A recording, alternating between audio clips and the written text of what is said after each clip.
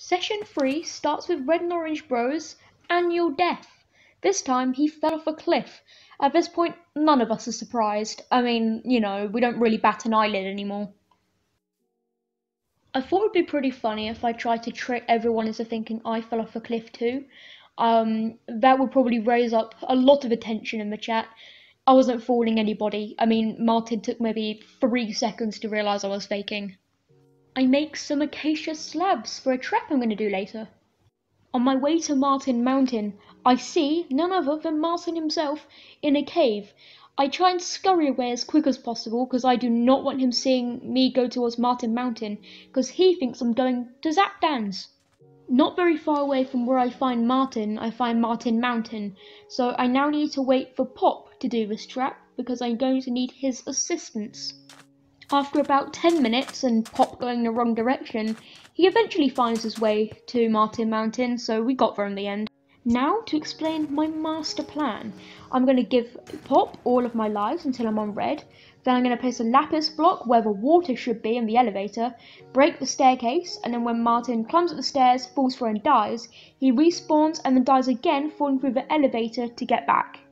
As I'm trapping the stairs, Martin realizes my name tag is red and alerts everybody in the server that I am now red, so we have to play it off like it was a trust exercise.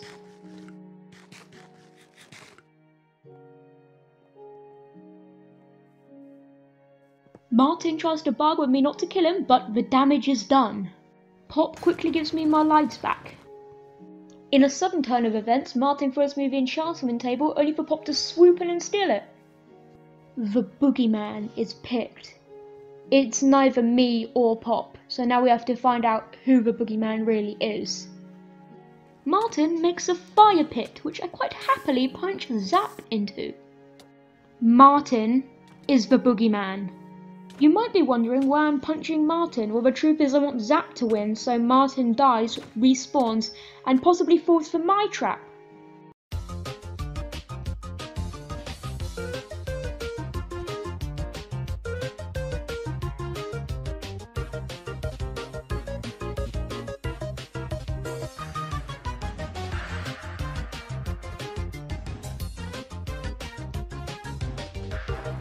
Nothing happens until Red dies of full damage again.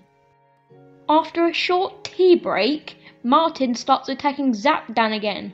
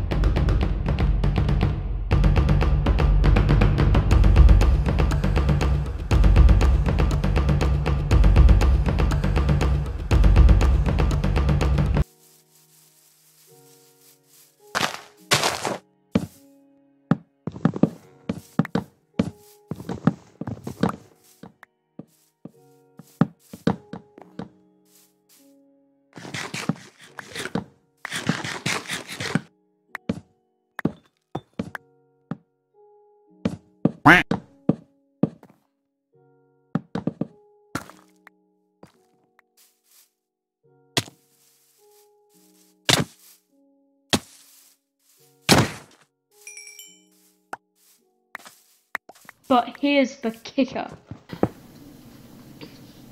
Yeah, down. No, go down this. Wait, no, that's Lapis. I knew it, I should.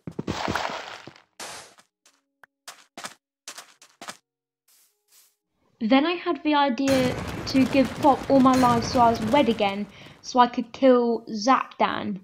Now, the next part is a bit crazy, so I'm just gonna let it play out.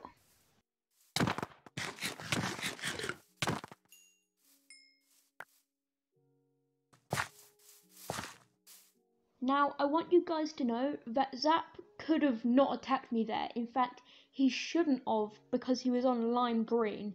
So, in the thing that was about to happen, I literally, there was nothing I could do to stop this.